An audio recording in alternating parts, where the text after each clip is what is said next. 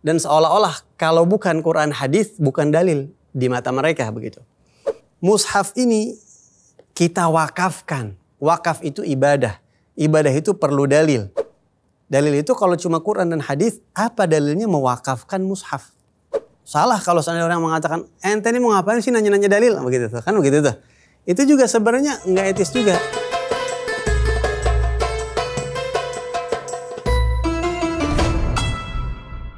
Nah, berarti apakah kita harus menerima setiap perkataan guru kita, ustadz atau seseorang yang Baik, kalau ada orang yang menerangkan apa kita harus terima? Kalau cuma nasihat kayak di YouTube, di medsos di mana-mana, terima aja nasihat mah. Jangan lagi dari ustadz, orang gila nasihat terima kalau itu baik. Siapa pun, artis kasih nasihat terima. Pemain bola kasih nasihat terima. Ronaldo kasih nasihat terima. Selama itu nasihat, karena nasihat itu umum buat siapa pun. Al-hikmah dhalatul mu'min kata Rasulullah. Kata-kata bijak, kata-kata hikmah itu adalah milik orang mukmin yang hilang kadang-kadang ketemunya di tangan orang yang bukan mukmin begitu. nggak apa-apa. Tapi kalau sudah ber, ber, uh, ber apa masuk ke ranah hukum boleh dan tidak boleh ya ini kerjakan ini tinggalkan nah itu jangan sembarangan itu harus selektif jadi nggak boleh siapa aja kita terima yang kita terima harus orang-orang betul-betul kita yakini uh, keilmuan mereka yang sudah kita teliti terlebih dahulu. Jadi setiap muslim harus punya guru baik guru online ataupun guru offline walaupun bagus itu harusnya offline ya buat konsultasi begitu. Atau kalaupun kita mau mendengarkan fatwa online-nya, kita harus teliti dulu orang ini memang mumpuni atau tidak ilmunya, belajarnya di mana, faham kaidah agama atau tidak, akidahnya apa, gurunya siapa saja, dan bersambung nggak sanatnya sampai ke Nabi Muhammad SAW begitu. Ketika itu semuanya terpenuhi, silahkan dia ngomong A, telan, terima. Karena udah nggak perlu nggak perlu dianalisa lagi, kita sudah tahu dia, begitu. Tapi kalau orang yang kita belum tahu, analisa dulu terlebih dahulu, jangan langsung ditelan begitu. Caranya memilih guru tuh gimana, Bib yang baik? Baik. Gimana caranya kita milih guru? Apakah kita lihat dari jubahnya, dari imamahnya? Apa ini wah ini jebolan luar negeri? Enggak juga. Kok banyak yang dari yang gak keluar negeri kadang-kadang ilmunya lebih dalam daripada yang keluar negeri. Itu banyak banget, banyak banget. Karena alifnya di luar negeri sama alifnya di sini sama-sama lempeng. Gitu ya.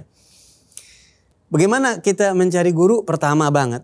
Pertama banget kalau kita mau mencari guru, pertama banget adalah kita perhatikan uh, sanat keilmuan. Ini udah sering dibahas ya. Sanat keilmuan itu sangat penting. Jadi kalau orang dulu itu, misal contohnya nih, ini siapa ustadz ini? Kok uh, ceramahnya enak, saya tertarik sama dia. Cari tahu, beliau belajar di mana dulu? Oh, beliau ini dulu belajar 10 tahun sama uh, Said Muhammad bin Abdul Maliki. Oh, cukup. Karena Abu ya Said Muhammad Al-Maliki punya buku khusus yang menjelaskan sanat beliau sampai Rasulullah. Cukup udah. Beliaunya sudah kita yakinin. Beliau dulu belajar di Syam. Syam siapa? Syam itu belajar kepada Syekh Fulan. Syekh Fulan itu siapa? Muridnya Syekh Hasan Hitu. Oh Syekh Hasan Hitu terkenal kita tahu ada cukup. Begitu. Sampai yang kita tahu mereka punya sanad ke Nabi atau kalau kita nggak tahu siapa nih fulan kita nggak tahu cari tahu. Kalau kita mentok nggak tahu mendingan tawaguf. Tanpa kita menuduh ini orang tidak tahu nggak nggak usah. Yang penting tawaguf karena kita nggak tahu begitu. Pertama sanatnya perhatikan betul. Dan buat kami para eh, orang-orang uh, yang kita santri ya, buat kami para santri sanat itu kebanggaan. Kebanggaan. Jadi kalau ada orang yang uh, bertanya atau kita mau masukin anak ke pondok, tanya sanatnya ada gak?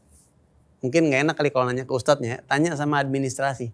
Ustadz boleh tahu gak kurikulum pesantren ini apa, terus sanatnya seperti apa? Atau kalau kita mau mondok atau kita mau belajar sama orang, mau, mau belajar secara khusus, cari tahu sanatnya.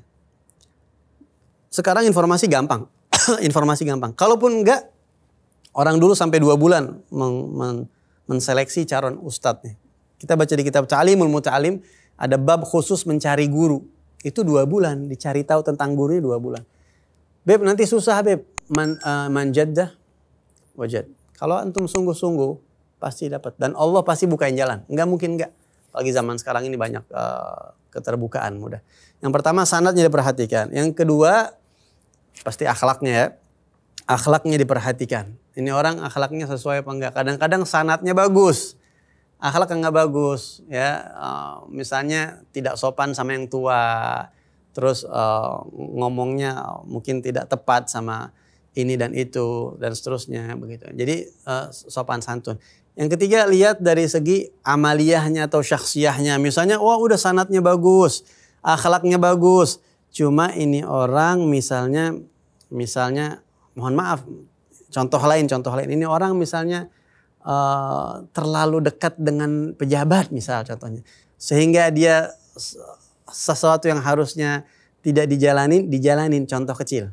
Contoh kecil ya begitu. Karena Beb, jangan mengkritik ulama yang dekat dengan penguasa dong. Semua kitab begitu. Semua kitab begitu. Hadis-hadis seperti itu. Ya, jadi ketika dekat dengan penguasa, ini bukan kita tuduh dia jelek enggak. Hati-hati kalau buat panutan, wah lu ngerem. Ini orang jelek enggak jelek. Mungkin dia mau benerin penguasa, mungkin. Begitu ya. Walaupun mungkin penguasanya enggak bener-bener misalnya gitu tuh. Tapi paling nggak kita jangan menjas beliau. Tapi kalau untuk panutan, wah saya ntar dulu. Uh, cari yang betul-betul apik waro orangnya. Jadi pertama sanat, kemudian kedua akhlak, kepribadian. Yang ketiga itu akidahnya kita lihat. Ya, akidahnya bagaimana dia akidahnya. Uh, apakah sesuai dengan salafus soleh dan seterusnya. Dan yang terakhir yang uh, termasuk uh, sangat vital ini adalah dia ini belajar faham agama atau tidak. Ini kita perlu tahu berapa lama dia belajar dulu begitu. Belajarnya berapa lama? Karena orang yang belajar kan banyak begitu ya. Kadang-kadang belajar setahun aja udah bisa jadi, jadi ustadz kan sekarang ceramah begitu. Ini orang betul-betul ngerti kaidah agama gak? Mungkin kita orang awam kan nggak tahu. Tapi kita bisa cari tahu ini orang kalau untuk guru yang kita pegang hukum betul-betul panutan ya. Kalau buat nasihat bebas. Nasihat siapa pun bebas. Kita lihat ini orang belajar kaidah agamanya berapa lama pernah baca kitab apa saja misalnya begitu untuk kita jadikan uh, panutan begitu. Setidaknya itu yang yang secara yang secara aspek akhlaknya baik, tidak merendahkan orang, tidak ini tidak itu mencerminkan seperti itu. Nah ini semoga kita dijauhkan dari ini, tapi andaikan Allah memperlihatkan keburukan atau kekurangan guru kita tuh apa, apa yang harus kita lakukan? Ya, salah satu ujian murid adalah ketika si ketika si murid salah satu ujian murid ketika dia dibuka uh, kekurangan gurunya. Sebenarnya sebelum ini terjadi harusnya kita doa sama Allah minta jangan sampai itu dibuka.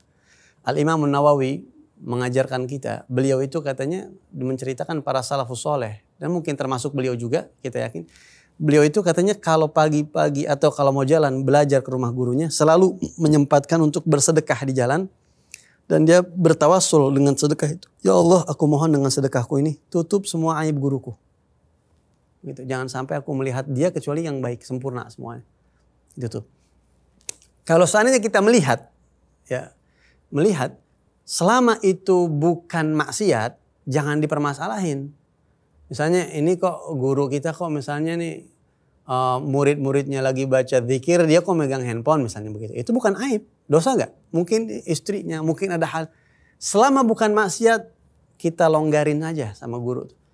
Lain halnya kalau kita melihat guru kita melakukan sesuatu yang uh, fatal atau salah di mata agama. Gitu. Itu boleh ditanyakan.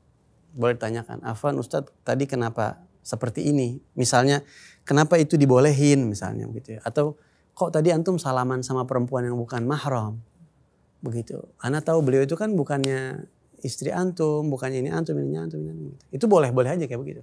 Itu etis ya, Etis. Berdua-dua maksudnya Betul. Asal mungkin, mungkin kita nggak tahu. Ana baru nikah sama dia kemarin. Siapa kita nggak tahu. Hilang kan.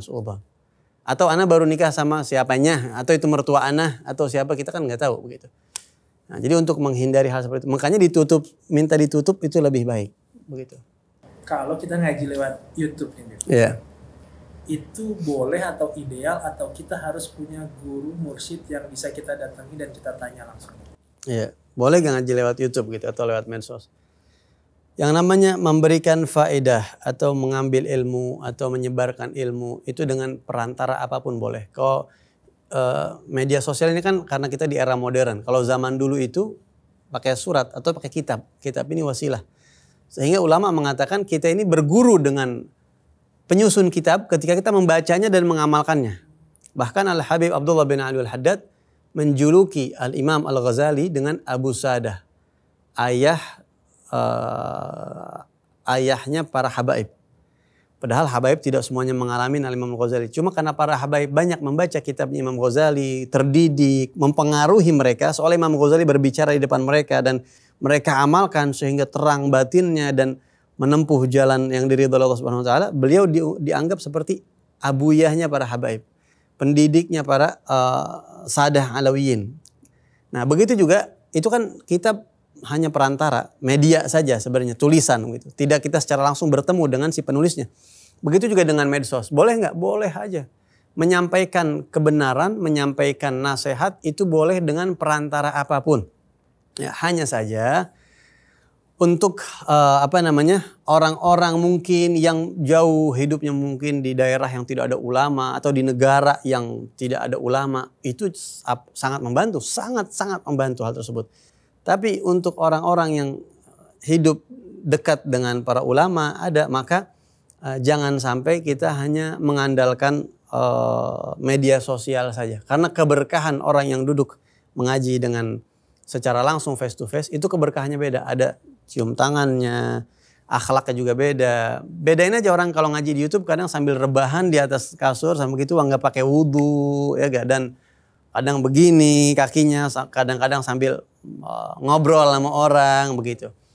Beda dengan orang yang secara langsung begitu. Nah jadi media sosial ini uh, jangan dijadikan inti. Dia hanya tambahan, hanya pelengkap, hanya nasihat buat orang-orang yang mungkin belum terjamah, belum tertarik untuk hadir di majelis taklim, mungkin dia lagi lihat beranda-beranda atau buka tausiah dan kena kesentuh. Nah, jadikan itu hanya untuk media seperti itu. Jangan dijadikan sesuatu yang sifatnya itu inti atau uh, sangat vital begitu enggak. Kecuali buat orang yang memang hidupnya jauh dari dari para ulama. Makanya dari tadi yang kita sampaikan kalau di media sosial Al-Fagir kita ini condongnya ini medsos kita ini kita perlu untuk kita mau arahkan ke siapa? Kalau umum untuk orang awam, pembahasan yang ringan-ringan aja. Nasihat, hikmah yang mereka mudah tangkep. Jangan pembahasan yang ngejelimet, yang nggak manfaat buat mereka.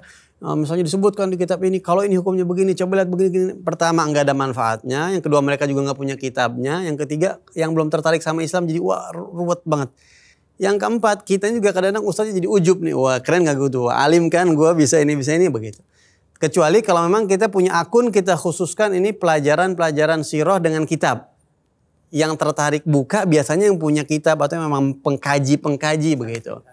Jadi ya anzilin nas manazilahum. Posisikan orang sesuai dengan porsi mereka masing-masing begitu ada orang yang khusus nyari nggak tahu satu jam itu dia iya, iya. dia nyari ini di mana salahnya ya nah, iya, iya. dipotong diangkat dipotong diangkat itu salah satu emang gerakan untuk bikin adu domba atau gimana ya gitu uh, musuh salah satu tanda seorang pendakwah itu diridhoi oleh Allah sejalan dengan Nabi Muhammad adalah ada pembencinya ada yang hasut jadi kalau kita dakwah nggak ada yang hasut suka semua tanda tanya Tanda tanya. Semua nabi punya musuh. Wa kadzalika ja'alna likulli nabiyyin aduwa. Allah berfirman di Al-Quran, kami jadikan setiap nabi itu musuh. Pasti ada. Enggak ada nabi yang enggak punya musuh. Al-Habib uh, um, Alwi bin Syahab ketika mendengar Habib Muhammad Al-Haddar ini dipenjara sama komunis pada saat itu di Hadramut ya. Beliau justru syukur Alhamdulillah. Ini kabar yang anak tunggu-tunggu nih beliau dipenjara nih.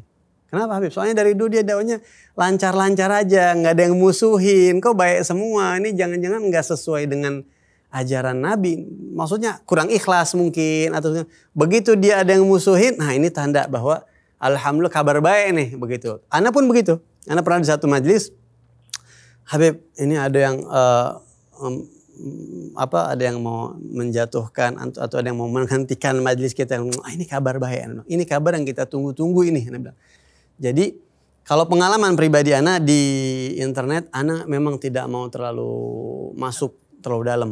Pertama buang-buang waktu. Kita banyak urusan yang lebih penting daripada cuma ngeliatin komentar di slide itu. Itu paling sekedar-sekedar aja lah begitu. Yang penting sampaikan dah. Yang gak suka itu pasti. Dan ada yang tidak suka itu nikmat dari Allah Subhanahu Wa Taala. Mustahil kita mau orang semuanya sejalan sama kita. Mustahil orang nggak ada yang ngomongin kita itu mustahil. Sesuatu yang mustahil. Hmm. Terima kasih Habib Muhammad atas penjelasannya di segmen ini. Jadi untuk pemirsa kita bisa dengarkan tadi lebih baik kita ikuti aja fatwa ulama yang tapi dengan syarat yang kita tahu uh, kredibilitasnya, ajarannya sesuai dengan ajaran Rasulullah SAW kita ikuti dan sambil kita bisa juga boleh untuk mencari ceramah-ceramah YouTube tapi untuk seperlunya aja ya Bebe ya. Betul nasihat sifatnya nasihat umum. Aja. Bebas Dan kalau nasihat. Kita mempunyai guru yang bisa kita tanya kalau ketemu kita nasihat. Kurang lebih begitu Bib. Untuk segmen ini selanjutnya kita masuk ke segmen cari tahu jawabannya. Sebuah segmen di mana guru kita akan menjawab pertanyaan-pertanyaan pemirsa Nabawi TV yang sudah masuk lewat Instagram ataupun komentar di YouTube. Ada beberapa yang akan kita pilih pertanyaan pertama ini Bib uh, Habib sekarang ini lagi rame di sosmed tentang seminar-seminar poligami yang seperti mengkampanyekan poligami dengan menghadirkan narasumber dan saya keselnya itu Bib di komen-komen itu orang-orang justru malah nyinyirin nyinyirin salah satu syariat Allah sebenarnya Bib yang masih Iya betul. Kita pro kontra di kalangan tertentu gitu. Gimana ya, hmm. ya Bib apa ya tanggapannya? Iya. Jadi begini, itulah dia tadi kita perlu zauk. Ilmu itu tidak cukup hanya kebenaran itu tidak cukup kita sampaikan ini benar ini salah. Tapi kita harus punya zauk. Zauk itu cita rasa. Harus punya cita rasa. Dalam berdakwah harus punya cita rasa dalam bergaul harus punya cita rasa. Al-Habib Al-Habsyi mengatakan waj'alil ilma muqtadana bi hukmi dzauqi fi fahmi sirri makna al-ma'iyyah. Uh, cita rasa bagaimana supaya kita ini memahami betul-betul kebersamaan Rasul SAW. Walaupun konteksnya beda, tapi cita rasa itu perlu. Pembahasan poligami dibikin seminar, kemudian diekspos dan lain sebagainya. Uh, poligami itu hak Poligami itu sebenarnya sebelum Rasulullah datang sudah ada begitu. Di kerajaan-kerajaan ada selir bahkan dan seterusnya dan seterusnya. Islam itu sebenarnya hanya mengatur poligami supaya tidak disalahgunakan uh, oleh manusia. Ketika ada salah satu aturan atau syariat Islam yang seperti ini kemudian diekspos, kalau tujuannya itu untuk mengedukasi, untuk menjelaskan mana yang boleh, mana yang tidak dan seterusnya itu boleh-boleh aja. Tapi kalau seandainya ada keterangan-keterangan yang uh, sifatnya kontroversi, mungkin secara hukum boleh, tapi ini jadi fitnah nggak kalau disampaikan? Kalau jadi fitnah harusnya jangan disampaikan. Kita kasih contoh kecil. Ketika seseorang berdoa kepada Allah misalnya. Jadi yang benar itu belum tentu baik. Ketika seseorang berdoa kepada Allah Subhanahu wa taala, "Ya Allah, wahai Tuhannya iblis, wahai Tuhannya anjing dan babi." Benar gak tuh kita orang itu? Benar, cuma pantas nggak begitu. Nanti punya rasa gak sama Allah Subhanahu wa taala? Walaupun benar yang nyiptain anjing, yang nyiptain babi, yang nyiptain iblis itu semuanya Allah Subhanahu wa taala. Nah, kalau kalau kayak model seminar poligami seperti ini, kalau kita lihat sekarang kita lihat begini, poligami itu memang ada. Poligami itu memang dibolehkan tapi uh, Al-Fagir pribadi sendiri, wallahu alam, melihat sejarah para ulama, para para masyayikh, para salafus soleh, mereka itu tidak suka meng-up sesuatu yang sifatnya privasi. Jangankan poligami, nikah monogami aja itu kan privasi sebenarnya kan. Walaupun pernikahan itu diumumkan, tujuannya supaya orang tahu kalau ini punya anak, kalau meninggal, warisan segala macam supaya tidak ada apa uh, ada yang dirugikan gitu. Ulama mengatakan harusnya itu kayak masalah uh, pernikahan atau suami istri lah misalnya. Jangankan istri kedua, istri ketiga, istri pertama aja harus diumpetin. Jadi kalau ada orang misalnya punya istri pertama kemudian uh, di dipajang-pajang, diunjuk-unjukin. Lihat coba Abu Yasin Muhammad Al-Maliki, kita pernah dengar gak istrinya namanya aja kita nggak tahu. Al Habib Umar bin Hafid mungkin kita sekedar tahu namanya bocoran. Fotonya nggak ada yang tahu, nggak ada yang tertutup. Ini pernikahan istri pertama artinya begitu. Ya. Begitu juga Al Habib Salim Ash-Shatiri, begitu Habib Zain bin Sumit. Loh ini istri ini privasi. Istri ini privasi. Kalau diumumkan pernikahannya umumin buat orang tahu bahwa saya menikah dengan si fulana. Jadi kalau saya kalau dia punya anak itu berarti anak saya untuk sekedar seperti itu. Minimal saksi dua orang minimal. Nah, tapi kalau untuk diekspos, ini sebenarnya bukan bukan cita rasa Islam sebenarnya begitu. Nah, jadi memang ada orang-orang yang mungkin niatnya mungkin baik, tapi karena kekurangan uh, wawasan atau tidak konsultasi dengan guru yang tepat, akhirnya melahirkan pandangan-pandangan yang merugikan Islam itu sendiri. Jadi seminar seperti itu sebaiknya dikonsultasikan dengan ulama yang tepat. Ini adalah salah satu efek negatif orang tidak punya guru yang tepat. Seperti itu. Kita masuk ke pertanyaan berikutnya. Habib, saya baru mengenal Islam lewat YouTube. Saya bingung mau belajarnya mulainya dari mana ya? Iya. Kalau baru kenal Islam lewat YouTube, boleh-boleh aja nggak ada masalah. Tapi kalau untuk belajar, Al Habib Abdullah bin Al Haddad mengatakan, kalau kamu mau tahu ilmu apa yang paling penting untuk kamu pelajari, karena ada skala prioritas ya, yang pertama ilmu apa? Beliau mengatakan bayangkan kamu besok meninggal. Kira-kira kalau kamu menghadap Allah yang paling bisa menyelamatkan kamu ilmunya itu pelajarin. Begitu. Jadi kalau seandainya di YouTube kan mungkin nggak ada pelajaran tentang ada sih mungkin pelajaran-pelajaran tertentu ya. Seperti misalnya uh, sholat yang benar, wudhu yang benar, merapihkan bacaan Quran Al-Fatihah saya mungkin belum rapi. Terus juga mungkin uh, belajar tauhid yang benar, mengimani Allah, mengimani Rasul yang benar seperti apa terus juga menjaga hati supaya jangan sampai sombong, ujub dan lain sebagainya. Itu ilmu-ilmu yang yang masuk skala prioritas sebenarnya begitu. Nah, kalau bisa itu dicari ke guru langsung. Ya, datang ke guru, man lam yakun ya'lamu ali, man lam yajid mu'alliman falyarhali. Di dalam itu dikatakan yang tidak tahu satu permasalahan tanyakan, kalau nggak ada guru pergi. Jalan, keluar, cari. Begitu. Di, kalau di Indonesia insya Allah hampir setiap provinsi pasti ada insya Allah begitu ya kalau perlu jalan utlubul ilma walau bisin. Sampai Nabi mengatakan carilah ilmu. Kalau perlu ente jalan ke negeri yang paling jauh jalan. Demi mencari ilmu begitu. Nah, kalau misalnya tinggal di kutub utara ya udah YouTube. Di kutub utara nggak ada ulama nih misalnya ya mau nggak YouTube ada tapi pelajarin dari situ nggak apa-apa. Selama masih ada datengin dan pelajari betul-betul cek Ustadz bacaan Fatihah saya. Kalau itu kan nggak bisa ngoreksi bacaan Fatihah saya kira-kira udah benar belum gitu mungkin nggak bisa. Kecuali mungkin pakai video call mungkin ya gitu ada skala prioritas lah. Prioritas yang fardu-fardu dulu. Betul. Dulu. Baru yang uh, yang sunnah-sunnah dah. Karena sekarang banyak yang tiba-tiba langsung Betul. gitu.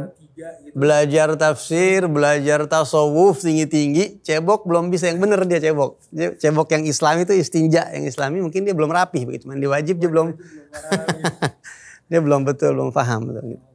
Pertanyaan berikutnya Bib, pertanyaan terakhir di segmen ini. Habib, belakangan ini marak tentang child free. Menikah tapi tidak mau punya anak.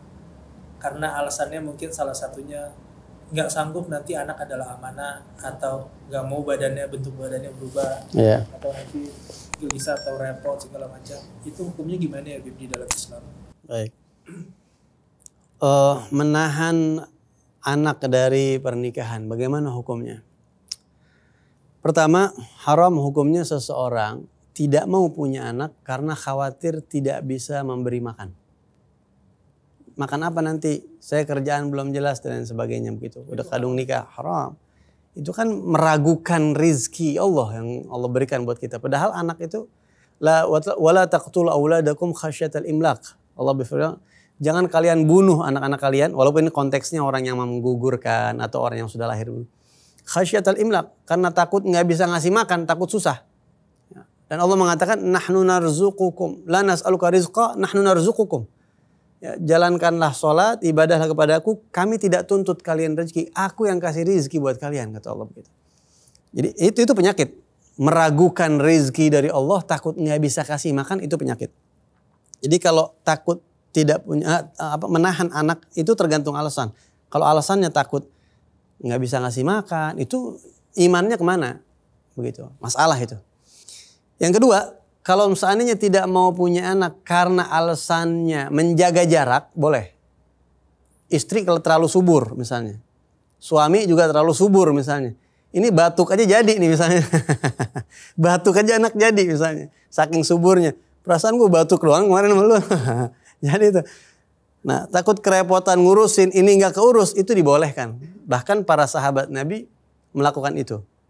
Uh, Sayyidina Jabir mengatakan kunna na'zil wal wahyu yanzil.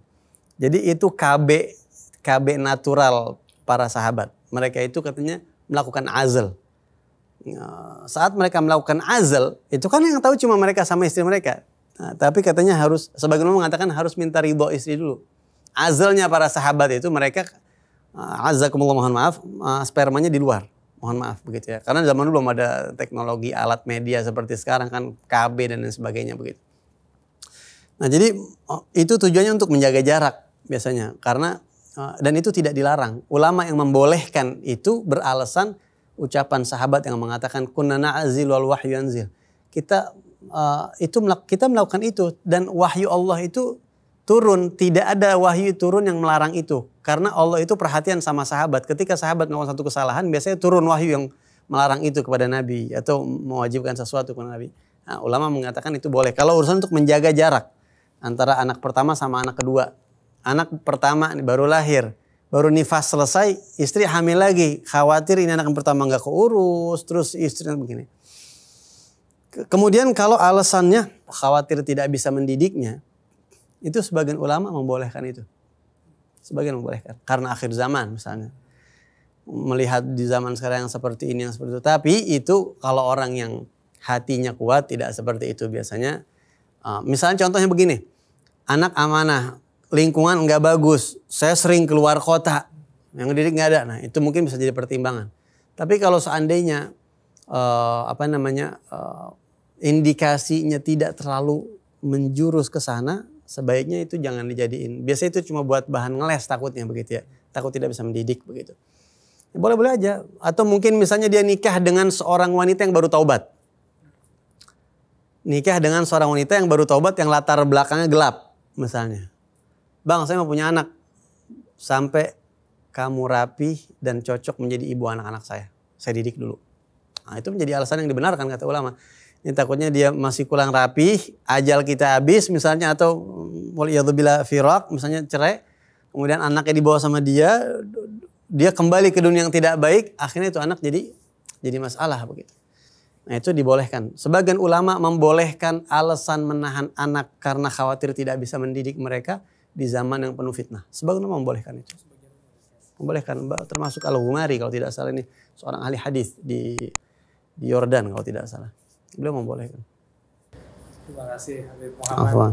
atas jawaban-jawabannya. Pemirsa, masih banyak lagi yang ingin kami tanyakan sebenarnya ke Habib Muhammad. Namun waktu juga yang membatasi kita. Untuk pemirsa yang ingin bertanya, silahkan DM di Instagram nabawi.tv dan juga bisa tulis pertanyaan Anda di kolom komentar YouTube channel Nabawi TV. Jangan lupa di subscribe di share sebanyak-banyaknya dan likes. Karena share kebaikan itu mendapat pahala ya Beb. Insya Allah. Ad-dal al khair al khair kafa'ilih kata Nabi begitu. Nah. Ya, yang menunjukkan kebaikan sama kayak yang berbuat. Makasih banyak Nabi Muhammad. Afwan sama-sama. kita bisa berbincang-bincang. Amin, amin insyaallah. Tanya Ustadz berikutnya. Insyaallah. Terima kasih pemirsa Nawi TV. Kita tutup penjelasan ini dengan doa ifaratul majlis. Subhanallah wa bihamdika asyhadu an la ilaha illa anta astaghfiruka wa atubu ilaik. Assalamualaikum warahmatullahi wabarakatuh. الله وبركاته. وعليكم السلام ورحمة الله وبركاته.